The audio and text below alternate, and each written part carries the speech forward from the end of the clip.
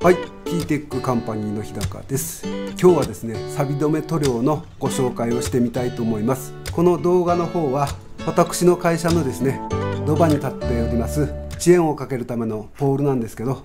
そうですねもうかれこれ20年以上塗装して経過してると思うんですよね。ご覧のですねこの茶色いものは錆ではなくてですね樹木の樹液とか汚れですねそういったものが付着しております。残念ながらウエスでこすっても落ちるような感じではないですね。塗膜の方はですね経年劣化の方からひび割れしておりますけど錆が発生しているような様子はほとんどありません。この使用しました錆止めはですね鈴鹿ファイン株式会社から発売されておりますサビストップという材料になります。サビ反応型溶剤二液エポキシ樹脂系の錆止めとなります。特殊変性錆転換エポキシ樹脂が残在した錆に含まれる水分鉄イオンと化学反応しまして錆を安定な状態に転換します。そういった特殊な錆止めとなります。色の方はですね赤錆色とグレー。それからですね白と黒ですね。赤錆の方は07の 50L 金磁色グレーの方は N の70金磁色白の方は N の93金磁色黒の方は N の25金磁色ということになっております。下地の方はですね鉄骨とか鋼板ですねそれからアルミニウムガルバニウム鋼板ドブ漬けの亜鉛メッキ鋼材ですねそれからですね塩化ビニル起伏鋼板には使用負荷となります。塩化ビニルの上にですね塗装しますと塩化ビニールに含まれる過素材が塗膜表面に移行しましてですねベタベタというような感じになりますので使用不可となっております。施工はですねハケウールローラースプレーなどでも施工可能です。希釈シンナーの方はですね強溶剤ですから鈴鹿旋盤シンナーアクリルシンナーとなります。ホルムアルデヒドの方はですね F のフォースターを取得しております。取材の方はですね第4類第2石油類硬化剤の方が第4類第3石油類危険物指定となっておりますね。上塗りの方はワイドエポーレシリーズとかワイドシリーズそれからエポーレですね。そういったやつが使用できるということになっております。貸し時間の方は8時間以内23度の場合ですね。ですから夏場の方はですねもっと貸し時間の方が短くなるということになりますね。下地の懸念はですね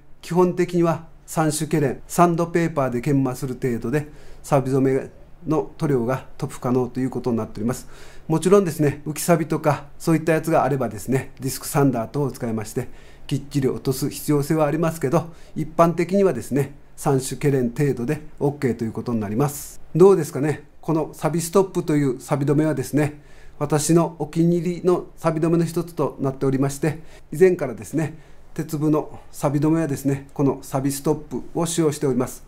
途中からですね着用剤タイプのワイドサビストップというのが発売されてますので現在はですねワイドサビストップの方を使用しておりますがこのポールを塗装した時期にはですね強溶剤のサビストップしかございませんでしたのでサビストップの強溶剤の方を今回はですねご紹介させていただきました。それでは材料単価の方を見ていきましょう。サビストップの場合は各色共通でですね 14kg セットが3万2200円。それからですね 4kg セット。こちらの方が1万3000円となっております。硬化剤がですね6600円。こちらは石油管タイプですね。そして股間の方がですね 0.3kg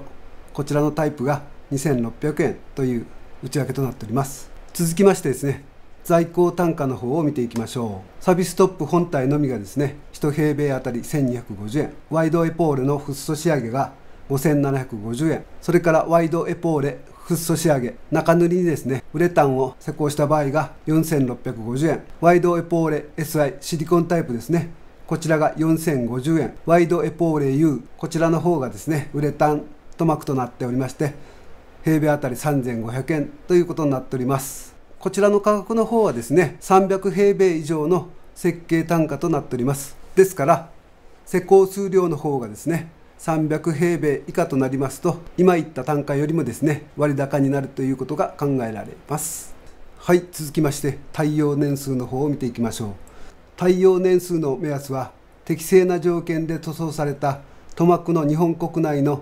温暖な地域における一般的な塗り替え時期の目安でありまして保証するものではありません。とメーカーが謳ってあります。ワイドエポーレのフッ素仕上げ。もちろん錆止めはですね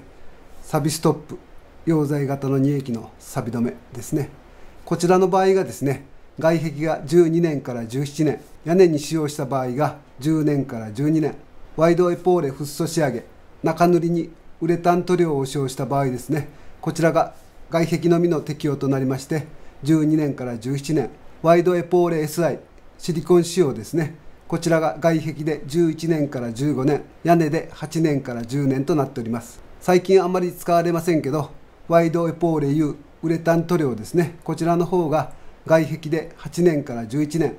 屋根でですね6年から8年やはりですねウレタン塗料の耐候性はですね結構短いものとなりますね。はいそれでは最後までご視聴いただきましてありがとうございます。高評価チャンネル登録もよろしくお願いいたします。それではまた次の動画でお会いいたしましょう。さようなら。